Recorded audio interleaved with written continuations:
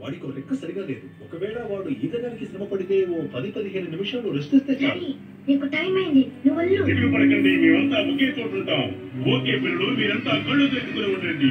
దాంతో పాటే నేను చెప్పే విషయాలన్నీ చెవులతో విని పొరలోకి ఎక్కించుకోండి. నీకే చెప్తున్నా జిమ్మి. ఓ విజ్ఞాన.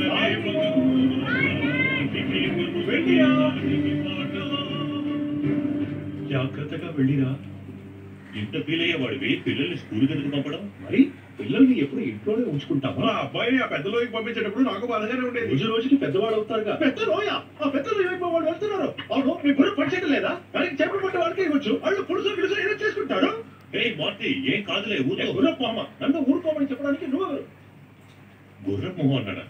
పేరు క్లౌన్ ఫిషే కానీ జోకులే వచ్చినట్లేవు. పాపం.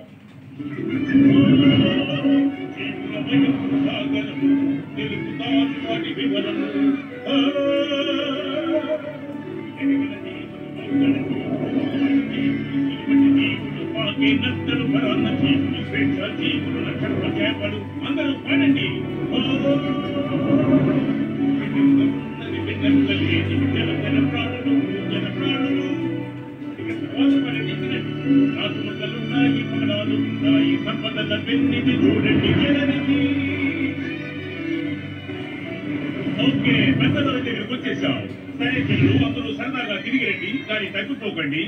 హ? ప్రపంచంలో పుట్టిన తొలి జీవిని చూడండి. ఈ రకం జీవి కేవలం ఆక్సిజన్ తోనే స్టార్చ్ని తయారు చేస్తుంది. ఇటువంటి బ్యాక్టీరియాలు మొత్తం సముద్రంలోని ఎక్కువ. సరే నాతో కలిసి పాడండి. ఏకగణ జీవి